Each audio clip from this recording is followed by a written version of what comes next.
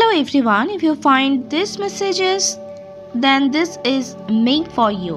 Don't ignore. Ace of swords I'm seeing a clarity is coming into your life. A victory and success is coming.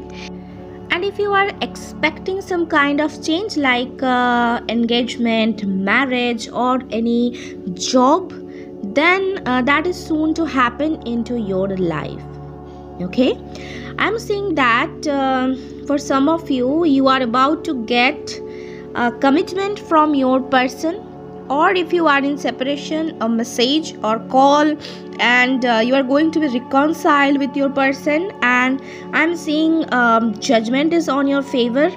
Okay if you have been stuck uh, on this relationship for a long time or uh, if you're facing uh, delays and uh, facing some kind of monetary problem then it's going to be solved okay? With the judgment card ace of swords a new beginning into your love life career life is going to happen and I am seeing that you will celebrate your union with your special person very soon. This person is coming.